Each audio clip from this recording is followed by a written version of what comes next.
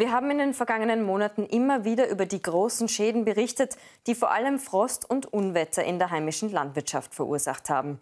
Jetzt gibt es dazu erstmals Zahlen. Die österreichische Hagelversicherung hat bis Ende August 270 Millionen Euro ausbezahlt, fast doppelt so viel wie im Rekordjahr 2012.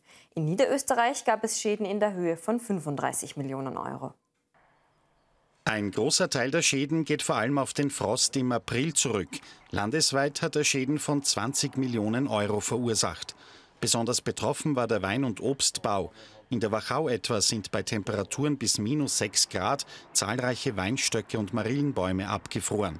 Auch im Kammtal rund um Langenlois gab es teils dramatische Ernteausfälle.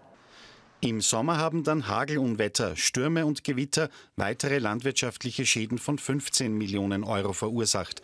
Zahlreiche Felder wurden von den Wassermassen überschwemmt.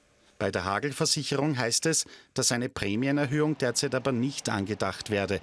Man konzentriere sich darauf, mehr Risiken zu versichern, sagt Mario Winkler, Sprecher der Hagelversicherung.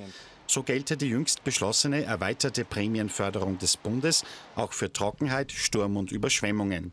Um die Prämien konstant halten zu können, denkt man seitens der Hagelversicherung auch darüber nach, bestimmte Kulturen wie etwa Marillen künftig auch gegen Frost zu versichern.